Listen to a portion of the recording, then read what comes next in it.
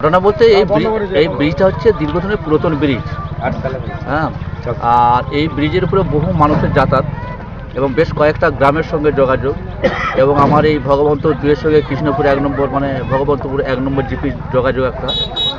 আর এইটাই পুরাতন হয়ে গেছিল, এটা আমরা জানি যে এই ব্রিজটা হয়তো লংজিভিটি বেশি দিন হবে নি কেন যা ওর উপরে যে গাড়ি ঘোড়ার চাপ হ্যাঁ? এরপরে আজকে হঠাৎ যেটা শুনলাম যে ব্রিজটা নাকি একটি নরি যাচ্ছিল, ইট বোঝাই নিয়ে ব্রিজটার মাঝের পিলারটা, মাঝের পিলার সরে গেছে, সরে যে পিলারটা, ওই মাঝের যে প্লটটা আছে, সেটা নেমে যাওয়ার পর ওই লরি সমেত ইট গাড়ি সমেত ওই অবস্থায় ঝুলে রয়েছে। কোনো প্রাণ সংশয় হয়নি, কোনো ড্রাইভার বা হেল্পার ওরা অক্ষত অবস্থায় আছে। যাতে এই ব্রিজটা আমরা চাইব যেটা ভালো রকমের হোক। কেন এইদিকে এখন নানা রকমের প্রধানমন্ত্রী সড়ক যোজনা যে রাস্তা হচ্ছে বা এইদিকেও স্কিম শুরু হয়েছে হ্যাঁ এর উপরে আরও ঘোড়া, গাড়ি ঘোড়া প্রচুর ছুটবে। হুম